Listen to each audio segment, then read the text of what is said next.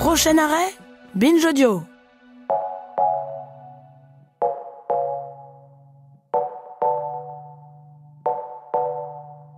La langue française n'est pas simplement un outil d'intégration, elle est l'intégration. C'était Emmanuel Macron lors de son discours sur la langue française, la francophonie et le plurilinguisme, discours donné à l'Académie française le 20 mars 2018. Dit comme ça, ça paraît du bon sens. Mais concrètement, qu'est-ce que ça veut dire s'intégrer par la langue? Est-ce que c'est au niveau pratique, pour travailler, pour se déplacer, pour faire ses courses? Est-ce que ce serait au niveau de valeurs véhiculées par la langue? Et dans la loi, comment ça se passe? Est-ce que vous, chères auditrices, chers auditeurs, vous savez quel est le niveau exigé en français pour avoir un visa, une carte de séjour temporaire, de résidence ou pour acquérir la nationalité française? En bref, quel est exactement le lien entre citoyenneté française et langue française Dans cet épisode de Parler comme jamais, on va parler de ce qu'on appelle le FLI, français langue d'intégration, ce qui n'est pas exactement pareil que le FLE, français langue étrangère. Dans les deux cas, il s'agit d'enseignement du français à un public non francophone, mais le FLI, français langue d'intégration, contrairement au FLE, est directement lié, comme son nom l'indique, à l'idée d'intégration au territoire, à la nation, à ce qu'on appelle les valeurs françaises, bref, à une vision politique de la langue. Et pour explorer tout ça, on reçoit deux linguistes et deux spécialistes du sujet, Nadia Webdelmoumen, maîtresse de conférence à l'Université de Rennes 2, et Maud Vado, maîtresse de conférence à l'Université Savoie-Mont-Blanc, qui suit parler comme jamais depuis la première saison et qui nous a proposé depuis assez longtemps maintenant de faire un épisode sur le français langue d'intégration. On est heureuse de réaliser cet épisode. Ah, et une petite annonce, à la fin de l'épisode, je vous annoncerai une surprise. En attendant, parler comme jamais sur le français comme langue d'intégration, c'est maintenant.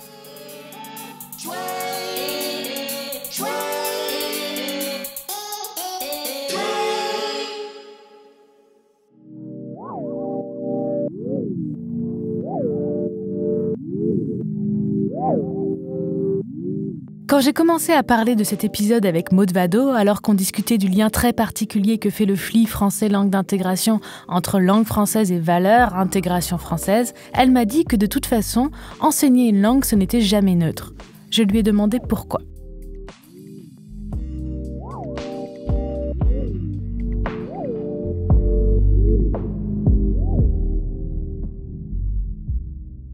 Pourquoi enseigner une langue c'est jamais neutre On pourrait se dire, ben voilà, il y a des mots, il y a du vocabulaire, il y a une syntaxe, on enseigne et basta. Ouais, c'est vrai, on pourrait se dire ça.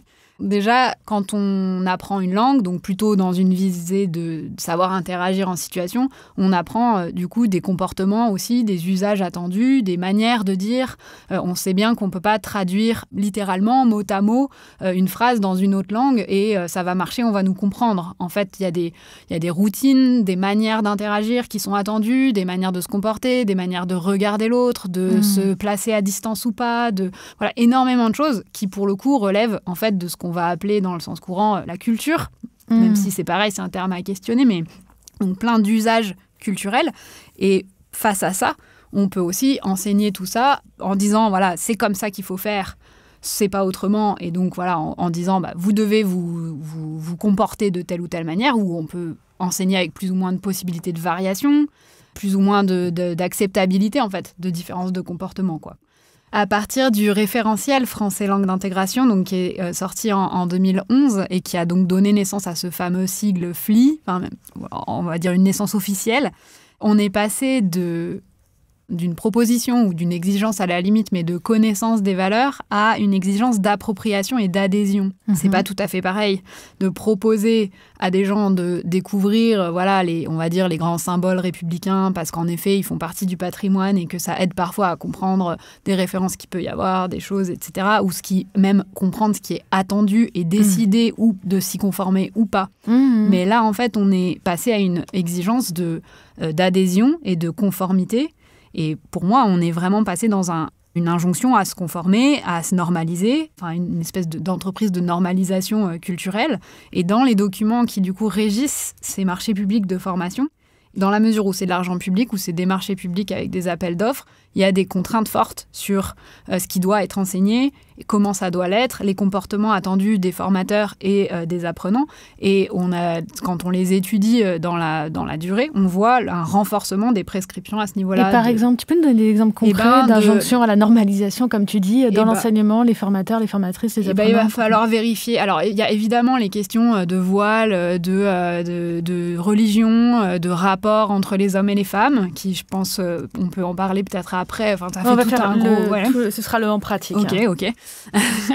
bon, mais il y a aussi des choses toutes bêtes de, voilà, il faut vérifier que les gens arrivent à l'heure parce que c'est un signe de respect des valeurs de la République que Ah bon, d'arriver à l'heure. Bah, il faut arriver à l'heure en formation, Il y a, y y Adèle, là, notre, euh, qui enregistre, qui est en train de rigoler en apprenant que quand on est bien français, il faut arriver à l'heure. Du coup, moi, je suis assez souvent en retard, mais...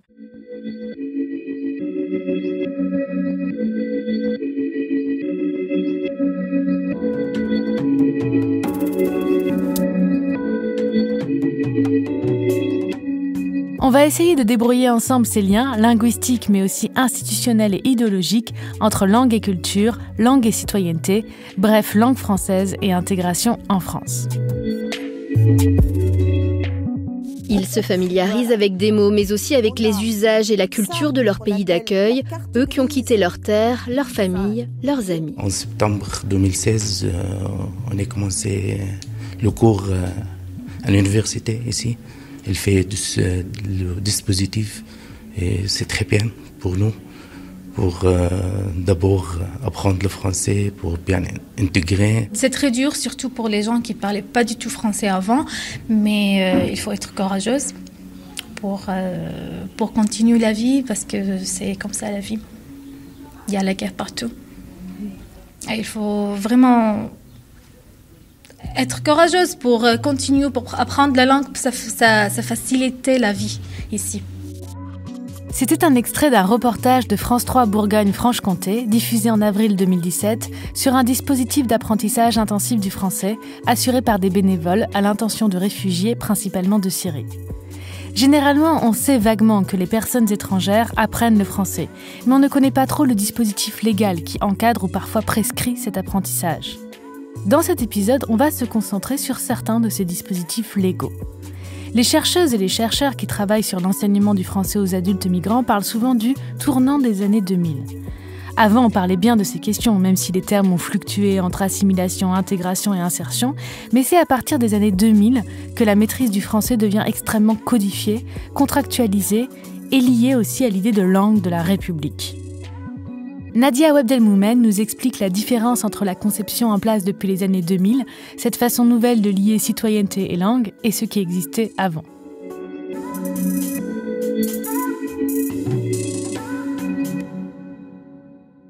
c'est pas qu'on le pensait pas comme un critère euh, important, mais euh, plutôt que ça n'avait pas émergé comme une condition ou comme euh, une sorte de préalable finalement.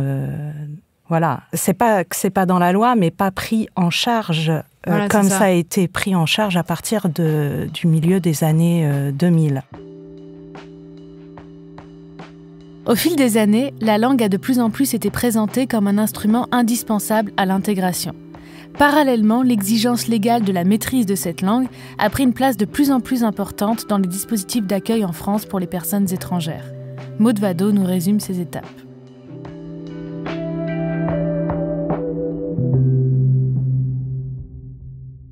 Une loi sur la nationalité en août 1927 euh, Mhm. qui pose une condition d'assimilation, euh, mais qui euh, ne précise pas euh, comment on mesure cette assimilation, par quelles conditions. Puis progressivement, enfin du coup, Qu'est-ce que c'est déjà cette condition d'assimilation bah, justement, c'est pas précisé dans cette loi-là, mais donc comme il n'y a pas de précision, l'administration met euh, à disposition des fonctionnaires qui sont censés vérifier cette condition Si d'assimilation les gens sont des questionnaires.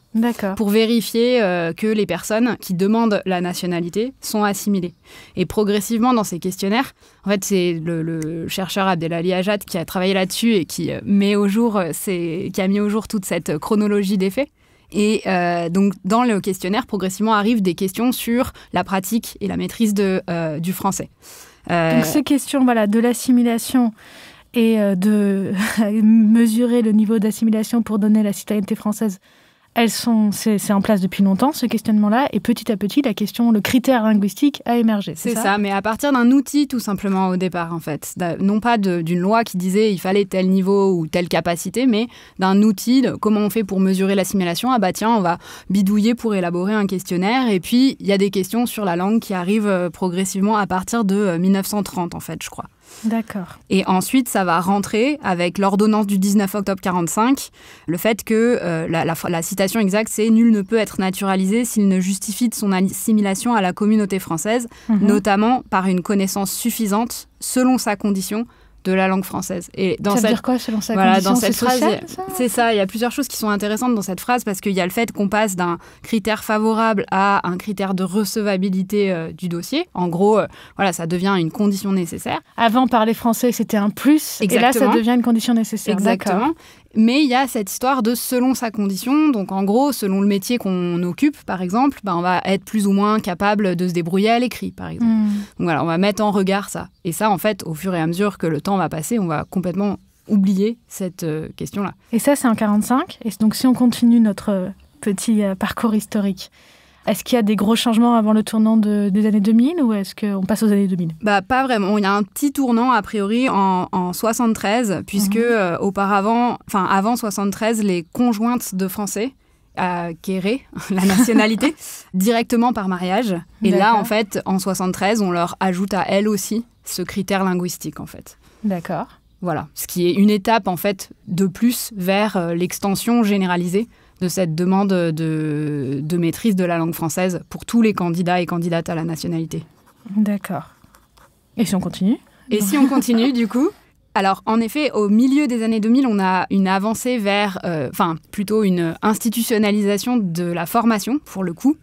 Là, je ne parle pas des critères qui sont posés pour accéder à la nationalité, mais simplement, mais d'une part, de l'accès à une formation, Mhm. et euh, de l'obligation de formation quand on arrive sur le territoire. Donc c'est un autre moment du parcours migratoire en fait, parce que là on a commencé par discuter des questions de nationalité, mais qui en fait arrivent euh, assez tard. Enfin, en moyenne, il me semble que c'est au bout de 10 ans, enfin que la durée moyenne de séjour sur le territoire avant d'avoir la d'obtenir la nationalité, sachant qu'il y a aussi beaucoup de personnes qui sont déboutées de la nationalité, qui l'obtiennent pas. Mais il faut euh, avoir résidé un certain temps sur le territoire. On peut pas demander la nationalité au bout, au bout de six mois ou même en fait, de deux voilà, C'est pas on arrive, on demande la nationalité française. Si on arrive, on demande un permis de séjour, c'est ça? Qu'est-ce qu'il y, a des étapes que vous pourriez nous dire, même un peu, c'est quoi bah, Pour arriver, quand on est en dehors de l'espace Schengen, parce qu'il y a mm. cette grande différence aussi de catégorie administrative entre voilà, les migrants de l'espace Schengen qui en fait euh, bah, peuvent circuler librement sans besoin de visa. Et par contre, les autres, ils ont besoin de demander un visa avant même de pouvoir mettre les pieds sur le sol français. Et quand ils arrivent en France, ils doivent signer un contrat qui mhm. s'est d'abord appelé contrat d'accueil et d'intégration, qui maintenant s'appelle le contrat d'intégration républicaine. La durée de ce contrat, c'est un an. Et dans ce contrat, il y a une obligation euh, de se former au plan linguistique. Alors, c'est des formations qui sont prescrites, selon le vocabulaire de, de l'administration, aux personnes dont on juge qu'elles en ont besoin, donc en dessous d'un certain niveau, et qui sont du coup gratuites, mais qui sont aussi obligatoires. Parce que pour que ce soit bien clair, si je comprends, pour des personnes qui viennent d'endroits hors de l'espace Schengen, il ne faut pas forcément savoir parler français pour demander un visa, mais que quand on a un visa pour euh, rester un certain temps sur le territoire, on signe donc ce contrat d'intégration républicaine qui est assorti d'une formation en français et qui est obligatoire. Cette formation en français-là est obligatoire. Et si on veut prolonger son séjour sur le territoire pour avoir euh, un autre permis de séjour, voire pour demander la nationalité française, il faut avoir un certain niveau linguistique. Est-ce qu'on pourrait dire ça comme ça? C'est juste ça? Et donc, les personnes qui doivent suivre le contrat d'intégration républicaine, c'est celles qui n'ont pas le niveau A1, donc qui ne parlent pas du tout français. C'est ça l'idée? Qui n'ont pas le niveau, oui. C'est pas la même chose? Pas toujours, non. Des fois, effectivement, les personnes, euh, elles parlent, mais au test, effectivement, bah, elles n'ont pas ce fameux niveau A1. Et pourquoi? Parce que c'est un stress au moment de passer le test ou parce que tu penses que c'est des critères qui veulent pas forcément dire qu'on parle pas français? Comment ça se fait qu'il n'y ait pas forcément de concordance? Je sais pas, j'imagine qu'il y a plein de situations, aussi la situation euh, effectivement d'évaluation qui doit jouer. Mais est-ce qu'on peut résider sur le sol français sans savoir parler français? C'est possible pour les personnes qui sont dans l'espace Schengen sur un point de vue légal ou sur un point de vue pratique? Déjà sur un point de vue légal. Bah, D'un point de vue légal, en effet, du coup, Si, si vous êtes espagnol, italien, italienne, euh, j'allais dire anglais, mais du coup, euh, c'est un peu plus compliqué, mais euh, allemand, allemande, voilà, vous pouvez circuler et on va rien vous demander. Sur une- aucune vérification sur quoi que ce soit qui concerne votre vie. Donc oui, du coup, ces personnes Mm. peuvent vivre en France autant qu'elles veulent sans, sans parler français. Et donc concrètement, ça va être qui les personnes qui vont signer ces contrats d'intégration républicaine?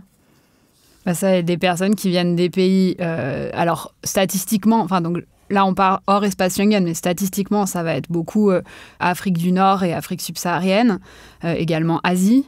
Et il me semble, dans l'ordre, c'est ça, en fait. hein, c'est. Et pourquoi est-ce qu'on fait cette différence espace Schengen et le reste? Pourquoi est-ce qu'on considère Est-ce que il peut y avoir une justification linguistique à ça ou il n'y a aucune justification Ah non, il linguistique n'y a pas de justification C'est linguistique. la grande question. C'est la grande question? Parmi tous ces dispositifs, nous allons nous concentrer avec Nadia Webdelmoumen et Maud Vado sur la place de la langue dans un dispositif évoqué qui prévoit la signature obligatoire depuis 2007 d'un contrat, appelé d'abord contrat d'accueil et d'intégration, puis contrat d'intégration républicaine, le CIR, qui est géré par l'Office français de l'immigration et de l'intégration. Il s'agit d'un contrat signé entre la personne arrivante et l'État français via le préfet. Ce contrat prévoit une formation civique obligatoire et une formation linguistique tout aussi obligatoire si votre niveau de français est jugé insuffisant. Ce contrat doit être considéré comme respecté pour obtenir la délivrance ou le renouvellement d'un titre de séjour.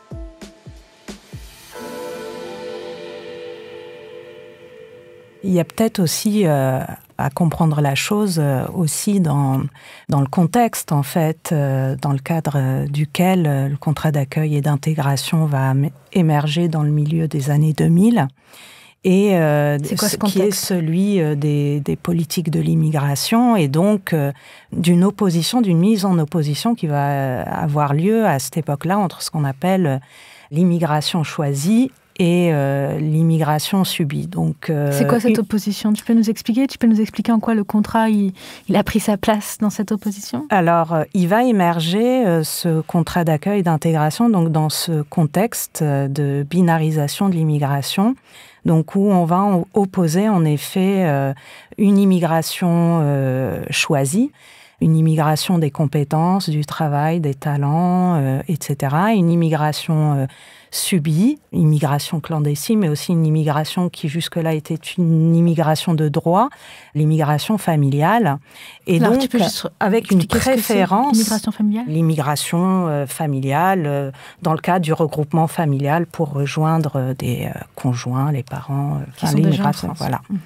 Donc ce contrat, il va émerger en fait dans ce contexte-là, dans ce contexte de préférence, ou en tout cas du- d'une rhétorique de la préférence pour cette immigration qu'on dit euh, choisie. hein, et euh, Le contrat qui- va, va servir aux gens à prouver qu'ils font partie de l'immigration choisie et pas subie, en quelque sorte, non? En fait, le contrat, il vient signifier que finalement, alors il y a la forme contractuelle, mais il vient dire que, étant donné que on va être dans le cadre d'une immigration euh, choisie, ça va garantir une intégration réussie, en fait. Et en quoi le contrat il, il manifesterait qu'on fait partie de l'immigration choisie?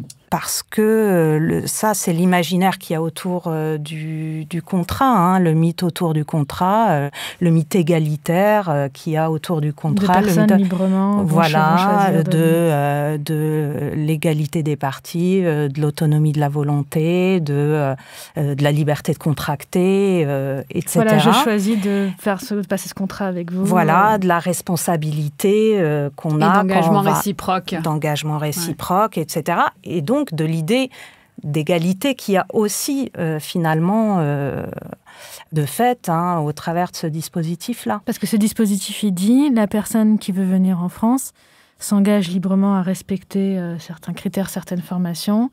Et donc nous, on choisit tout aussi après librement de, par exemple, lui donner son droit de séjour. Alors, librement, disons qu'il y a, il y a une loi et s'ajoute à cette loi un contrat, voilà, un appareillage, un, un dispositif qui va donner l'illusion que euh, c'est pas de la contrainte. qu'il y ait un contrat que, voilà.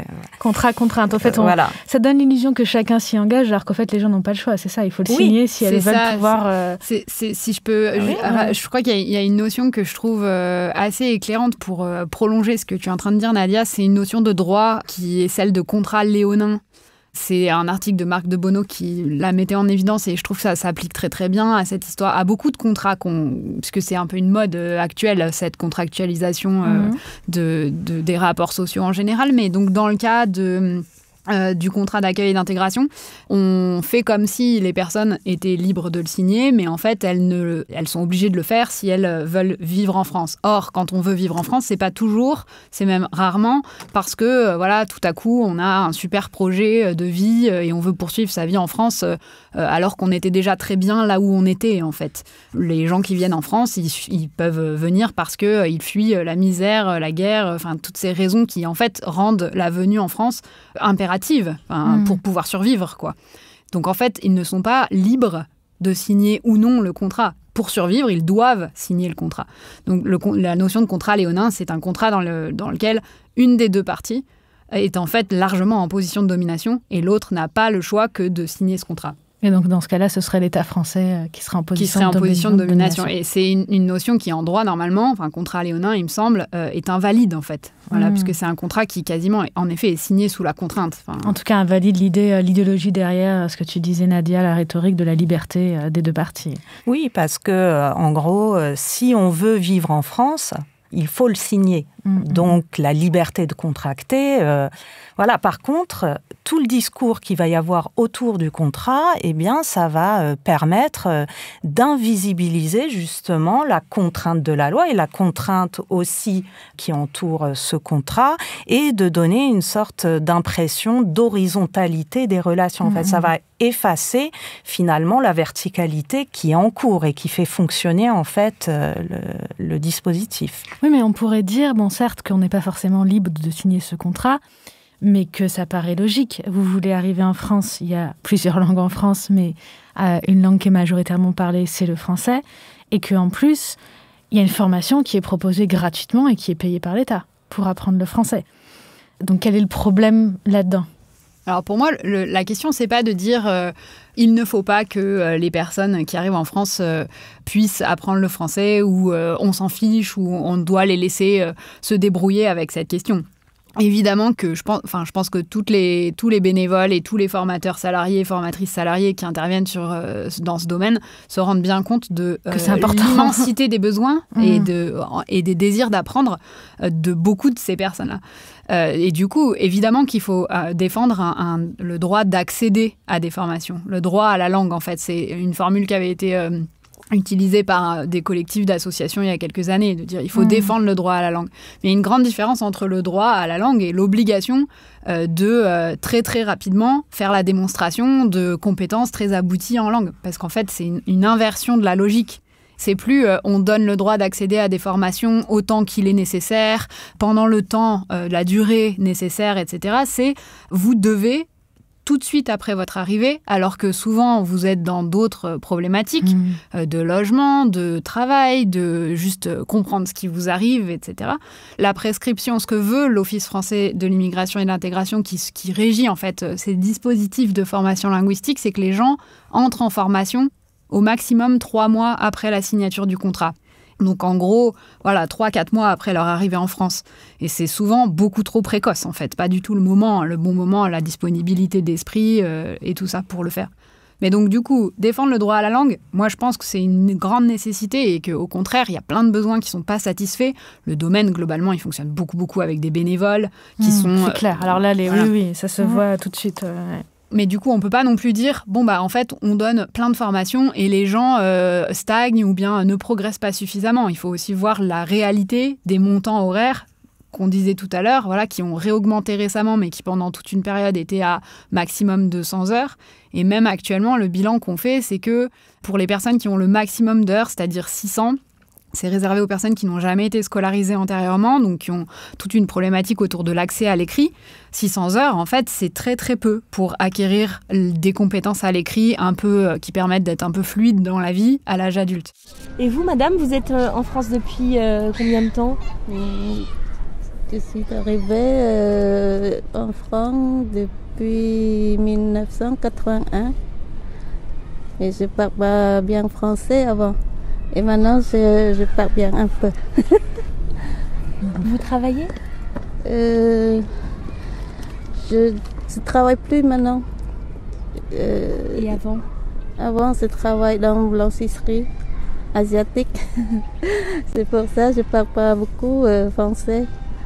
Et au travail, vous parliez chinois? Oui, à la maison, on parlait chinois beaucoup.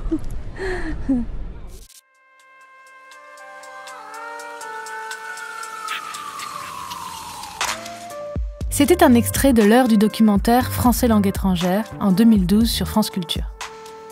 On ne sait pas souvent qu'alors que le nombre d'heures de formation octroyées par l'État n'est pas suffisant, les exigences en matière linguistique, elles, augmentent. Maintenant, pour avoir la nationalité française, il faut avoir un niveau qu'on appelle B1, oral et écrit, alors qu'avant c'était seulement l'oral. Cette nouveauté, l'exigence de l'écrit, ça peut présenter une difficulté énorme pour beaucoup de personnes et c'est en décalage avec la maîtrise des Françaises et des Français non issus de l'immigration, puisqu'on compte, hors chiffre de l'immigration, 7% de personnes en situation d'illettrisme, c'est-à-dire en difficulté forte à l'écrit alors qu'elles ont été scolarisées en France. Ce sont les chiffres de l'Agence nationale de lutte contre l'illettrisme. Mais essayons d'aller contre les évidences et de nous poser une question pas si facile que ça. À quel point avons-nous besoin de la langue française pour vivre en France? On écoute un extrait de Laurent Biller, délégué territorial de l'Office français de l'immigration et de l'intégration Alsace en 2012.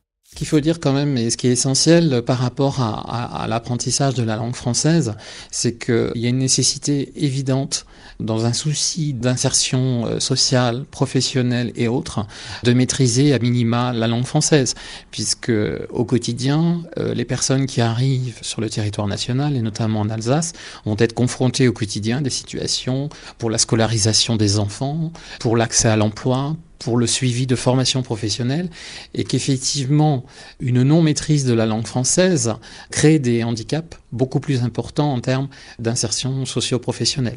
Je vous vois prendre des notes pendant que l'extrait est diffusé. C'est tellement des réflexes là de, chercheuses qui prennent, des notes, qui prennent des notes quand on leur pose des questions. Donc voici ma question. Ça paraît évident hein, de l'extérieur quand on entend cet extrait que ben oui, pour se débrouiller dans plein de situations, il faut une maîtrise à minima de la langue française. Qu'est-ce que ça veut dire? Qu'est-ce que vous en pensez, Nadia? Oui, euh, j'entends bien. Oui, effectivement, il faut euh, maîtrise, je sais pas. Je dirais plutôt parler.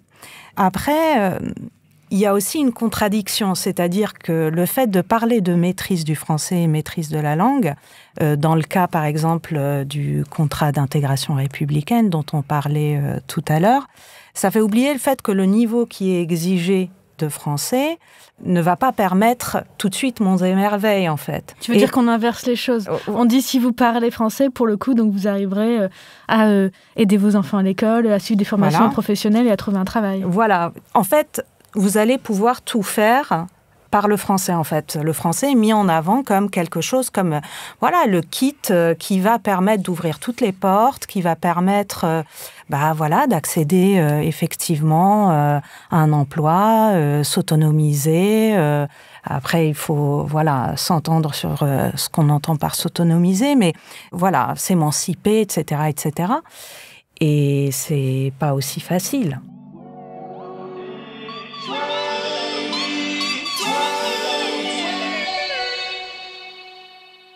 On va entendre un autre extrait, Muharrem Koch, directeur d'une association alsacienne de soutien aux personnes qui arrivent notamment de Turquie peut devenir français euh, sans forcément maîtriser le français comme un universitaire. Il y a effectivement des problèmes qui peuvent être traités autrement. Pour les populations immigrées qui vivent là depuis très longtemps, effectivement, nous les encourageons d'apprendre le français pour euh, quand ils cherchent un travail, quand en fait ils accompagnent leurs enfants, ben, ils ont besoin effectivement de maîtriser le mieux possible. Mais parfois, en fait, on peut pas non plus dire si vous ne faites pas ça, vous n'aurez pas. Parce que une personne peut se sentir en fait un citoyen d'un pays où il vit depuis 30 ans, même s'il ne maîtrise pas complètement la langue française. Et nous, en fait, on connaît des gens qui parlent pas très bien le français, mais qui connaissent très bien comment euh, aujourd'hui la France fonctionne, comment ses institutions fonctionnent, et qui connaît parfois les valeurs de la République mieux que n'importe qui.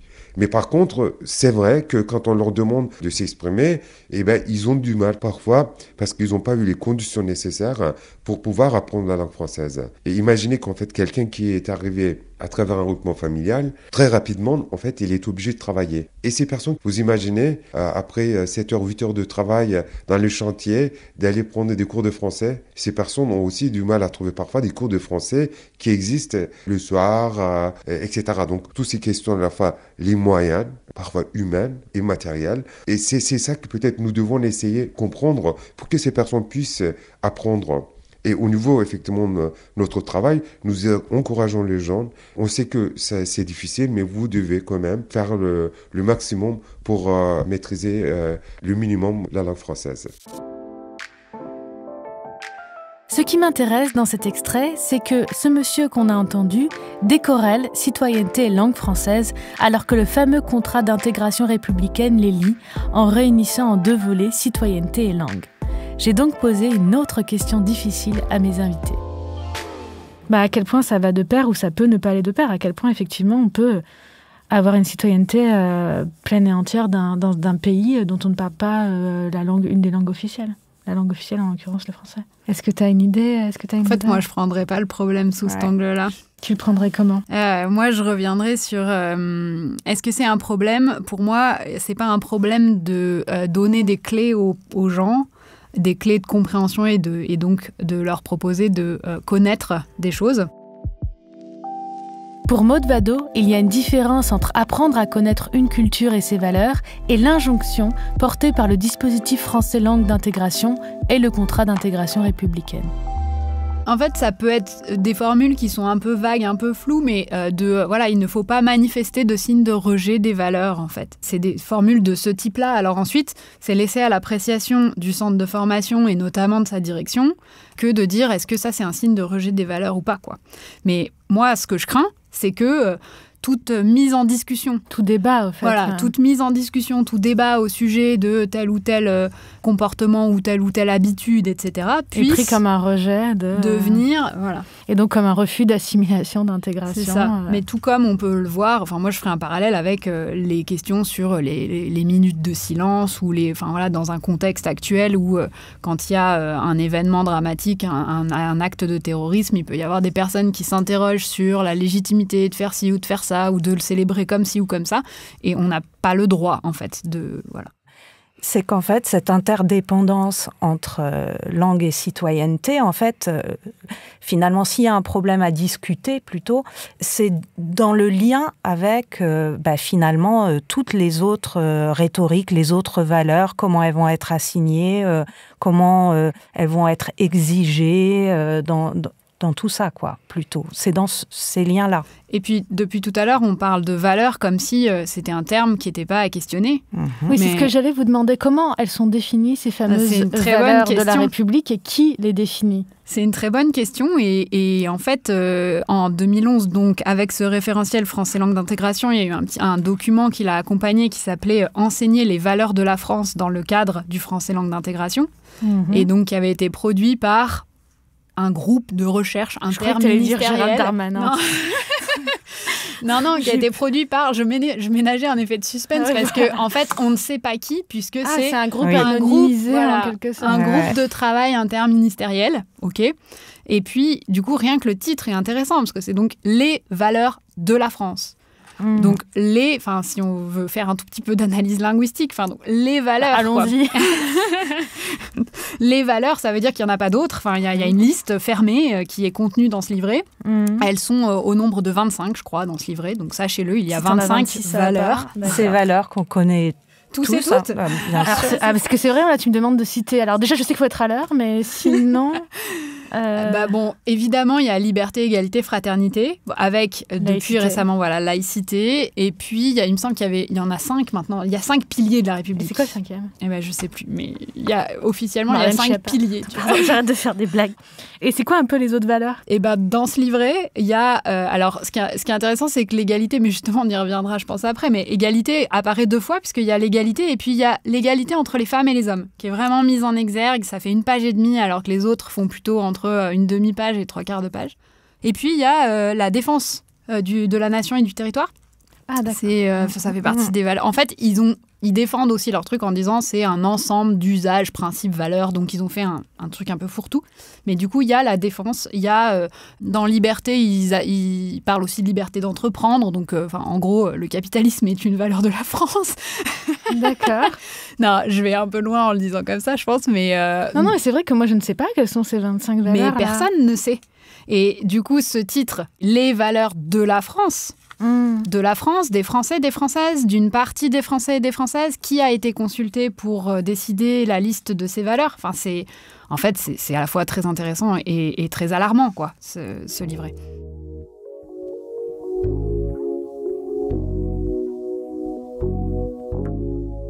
J'ai demandé après l'émission à Maud Vado de me transmettre ce livret qui date de 2011, on ne sait pas s'il est encore utilisé.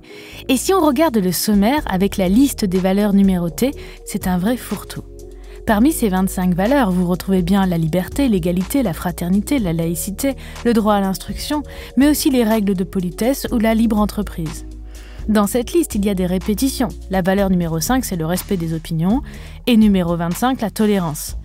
Il y a aussi des formulations bizarres comme la loi, traduction de la volonté générale. Personnellement, je ne comprends pas en quoi c'est une valeur. Et il y a aussi des valeurs assez ironiques, puisque vous trouvez le droit de voter et d'être élu, alors qu'en réalité, les étrangers hors Union européenne, même s'ils et elles résident légalement sur le territoire en France depuis parfois une vingtaine ou une trentaine d'années, et paient des impôts, ne peuvent pas voter. Alors que d'autres étrangers, issus de l'Union européenne, peuvent voter en France pour certaines élections et que les Françaises et Français établis à l'étranger peuvent, à certaines conditions, voter en France.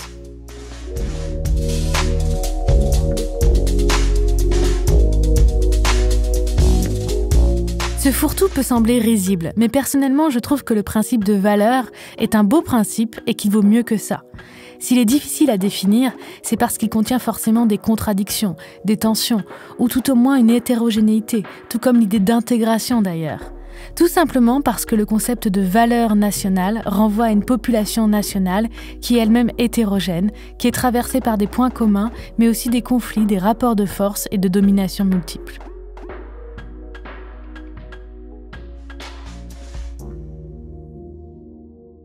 Alors, est-ce que vous auriez euh, sur euh, ce sujet des, recommandations, soit culturelles, soit universitaires, euh, musicales, ce que vous voulez Qu'est-ce que vous avez comme recommandation? Maude, tu as un livre devant toi. Est-ce que c'est ça? Alors, moi, j'ai deux recommandations, mais qui sont pas tout à fait sur ce sujet de l'enseignement du français aux personnes migrantes ou quoi, mais plus largement sur les questions de migration. La première, c'est un ouvrage de Jean-Claude Métro qui s'intitule La migration comme métaphore que je trouve assez chouette. C'est une approche assez sensible euh, de ce que c'est que migrer, de ce que c'est que euh, voilà quitter un monde, euh, en rejoindre un autre et de toutes les étapes qu'on peut traverser quand on fait ça. Pour sortir justement d'un truc très cadré, très tout pour tout le monde pareil et voilà. Et la deuxième, c'est une référence pour le coup très universitaire, mais c'est l'enquête Trajectoires et Origines, autrement dit Théo, qui est paru en 2015, qui a été menée conjointement par l'INED et l'INSEE et qui, euh, c'est un gros bouquin, mais qui est super pour faire le point sur euh, euh, voilà, les, trajectoires de personnes immigrées et de leurs descendants sur des tas de domaines de la vie sociale, professionnelle, amicale, etc. D'accord, merci. Nadia? Alors, c'est aussi un ouvrage universitaire, donc le contrat sexuel de Carole Patman, qui a été publié initialement en 1988 aux États-Unis et donc, c'est un ouvrage dans lequel euh, Carole Patman a fait une relecture, en fait, des théories euh, euh, classiques du contrat social en faisant une proposition qui est que le contrat original, le contrat social, serait indissociablement en fait un, un contrat sexuel et social. Et donc voilà un ouvrage qui m'a beaucoup inspiré.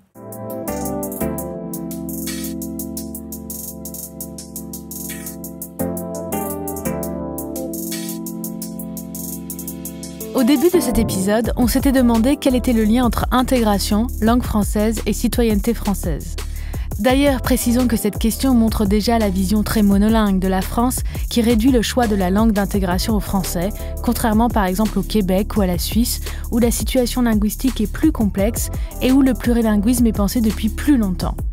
Et on a exploré une des réponses à cette question dans cet épisode, celle du contrat d'intégration républicaine, qui fait de l'apprentissage du français une étape avant l'intégration, la langue, et ensuite l'intégration. C'est bien entendu très important de permettre aux personnes étrangères d'apprendre le français.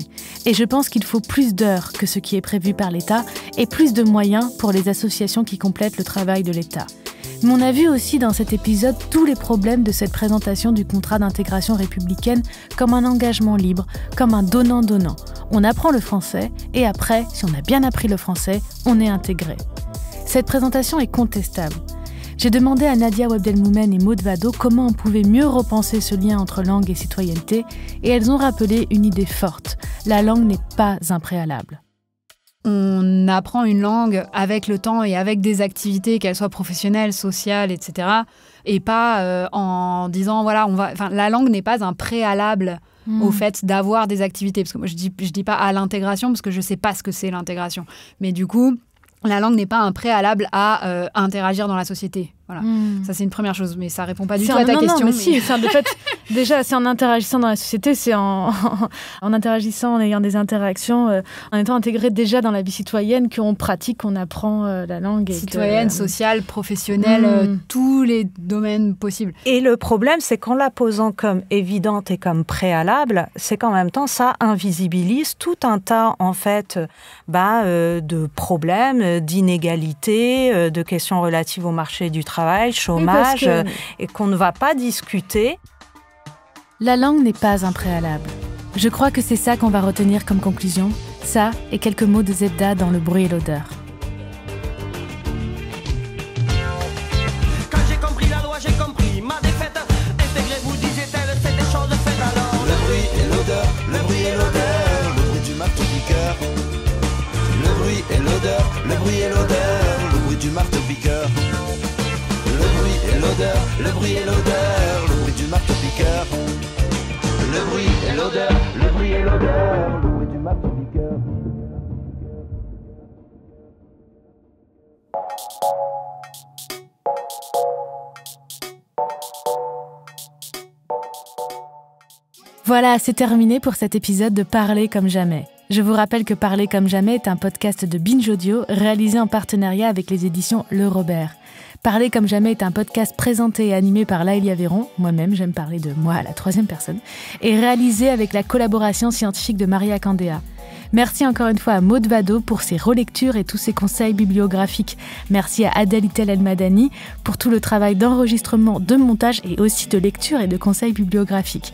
Et surtout merci à vous pour votre fidélité, vos retours, vos encouragements, vos commentaires, vos questions. Merci de faire vivre la recherche par vos écoutes et vos partages en ces temps où elle est particulièrement menacée. Et voici la surprise annoncée.